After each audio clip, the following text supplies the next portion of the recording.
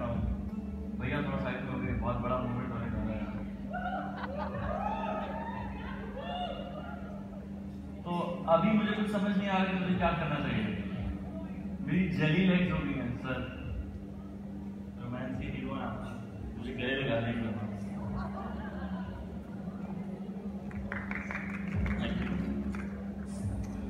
لیکن جب زندگی کا معاملہ آتا ہے تو پھر سب کچھ ملی بہت پسند آئی۔ تو میں نے سوچا کہ کیوں نہ اس کے ساتھ پوری زندگی گزاری جائے۔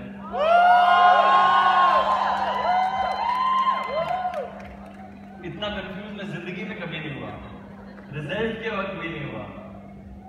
اور آج جب دو اوارڈ ملے اس کو، تو میں نے سوچا یہی اچھا موقع ہے۔ تیسرا بھی ابھی دے دینا چاہیے۔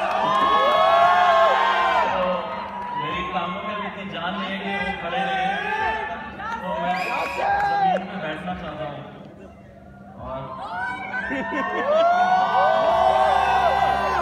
اور بیٹا بیٹا ٹوپی آنے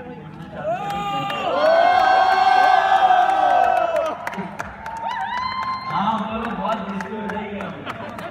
بیٹا، موبائل بیٹا